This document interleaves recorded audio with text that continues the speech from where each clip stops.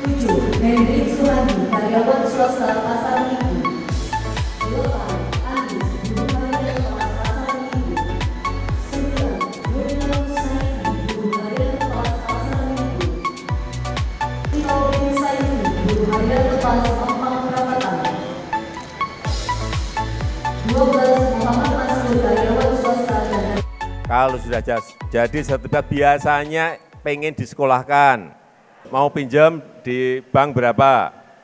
Kira-kira? Ya, seperlunya. Iya, berapa? 150 mungkin. 150. Orang mau pinjam ke bank tuh harus direncanakan berapa mau pinjam, dipakai untuk apa harus ngerti. 150 juta, oke. 150 juta mau dipakai apa? Buat tambah modal. Tambah modal untuk Iya. apa? Saya udah usaha udah 20 tahun. Oke, dagang 20 tahun apa? Susu kacang kedelai. Apa? Susu kacang kedelai. Susu kacang kedelai 150 juta itu banyak loh. Mau dipakai Iya. untuk apa itu? 150 juta.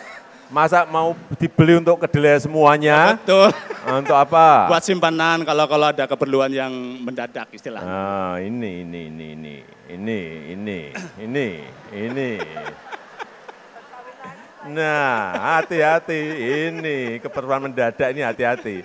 150 juta dipakai apa dulu? Saya mau tanya, satu, Buat modal modal berapa? Berapa juta? kemungkinan 10 juta. 10, 10 juta, masih Iya. 140 juta. Masih 140 juta pakai apa lagi?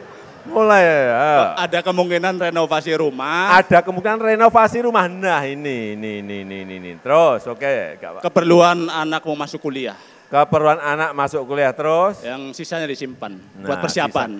Pinjem kok disimpan ini gimana? ini?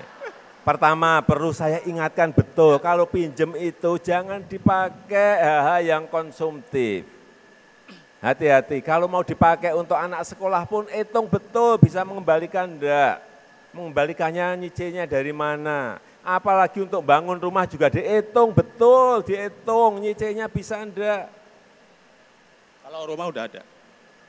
Apa? Udah rumah udah ada. Iya udah ada, tapi maksudnya kalau renovasi itu kan berarti Ya, kan tetap nyicil kan. Ini uang pinjaman loh Pak Ya, Sururi. betul, Bukan uang Bapak loh. Iya, iya, iya. Uang pinjaman loh. Tahu. Harusnya ya menurut saya kalau 150 ya kan 140 juta itu untuk tambahan modal kerja. Atau dipakai semuanya untuk modal kerja atau modal usaha. Ya kan? Ya. Kalau nanti ada untung, tambahan untung silahkan, mau renovasi rumah silahkan. Saya ingatkan aja, saya ngalami, saya cerita ini saya ngalami. Keliru, saya pernah keliru ngalami saya. Iya, iya. Jadi enggak, jangan sampai Bapak Ibu semuanya keliru memanfaatkan pinjaman bank, hati-hati. Kalau bisa 150 itu pakai semuanya modal usaha untuk beli kedelai semuanya enggak apa-apa. Tapi bisa jualnya, yang penting itu. Ada anak buah, Pak. Hah? Ada ya anak buah. tahu, anak buahnya banyak ya. Anak buahnya sekarang punya anak buah berapa? Tujuh. Tujuh ya, ditambah anak buahnya jadi 15. Ya niatnya ekspansi. Nah gitu, keuntungan baru pakai untuk renovasi rumah, untuk anak-anak kita, saya kira seperti itu. Saya titip itu aja Pak Suri, J. ingatkan aja. Nah, yang sekarang alhamdulillah udah ada bantuan dari pemerintah sertifikat yang gratis pemutihan. Saya bersyukur sekali, senang sekali dengan mudah, ada gampang. Pokoknya membantu rakyat kecil lah. Jadi tenang udah megang sertifikat ini.